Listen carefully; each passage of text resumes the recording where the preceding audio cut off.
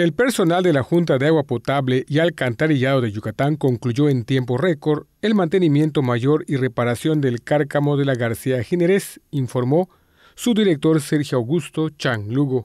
El depósito, cuya capacidad de almacenamiento es de 5 millones de litros y que no había sido rehabilitado en más de 50 años, recibirá el vital líquido a partir de este sábado, por la noche, de modo que el domingo temprano estará listo para reanudar el rebombeo y distribución a 29 colonias y fraccionamientos de la ciudad.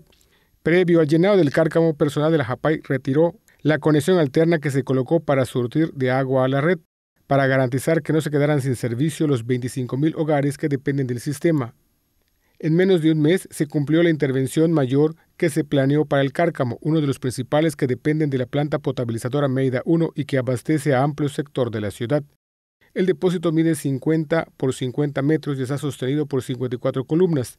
Tiene capacidad de almacenamiento de 5.000 metros cúbicos y por el deterioro de su interior se perdían casi 10 millones de litros al día que se recuperarán a beneficio de los usuarios.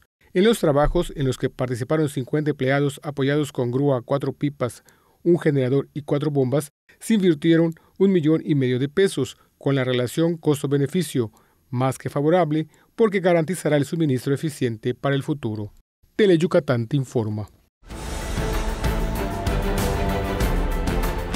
Tele Yucatán te informa, lunes a viernes, 8 de la noche. Síguenos.